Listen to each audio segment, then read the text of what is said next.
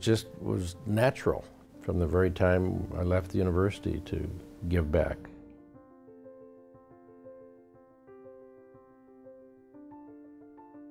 Davidson Honors College is one of the best overall honors colleges that a student can find. Truly a gem of this university, a gem of this state, a gem of this country. We're launching two new programs that I believe will become national models for public higher education. The first program is a teaching, research, and mentoring fellowship. TRM Fellows will be selected for their cutting edge, cross disciplinary, and socially relevant qualities. I'm also announcing the launch of the Davidson Honors College Career Development Program with a comprehensive program that will help our students prepare for and secure postgraduate success. These programs will make a difference now. These are major advances. Major advances require leadership, foresight, and dedication.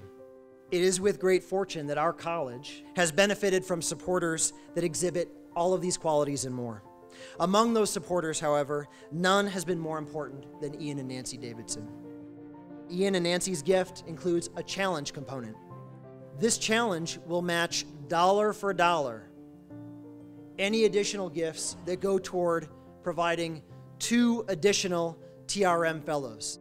This represents an incredible value proposition to other supporters of the Davidson Honors College and it symbolizes Ian and Nancy's conviction that while their own leadership has been imperative in launching these programs, it will be a team of supporters that pushes them to the next level in the coming decades. Together, we can do more. It's an investment because I truly believe uh, it is going to make a huge difference.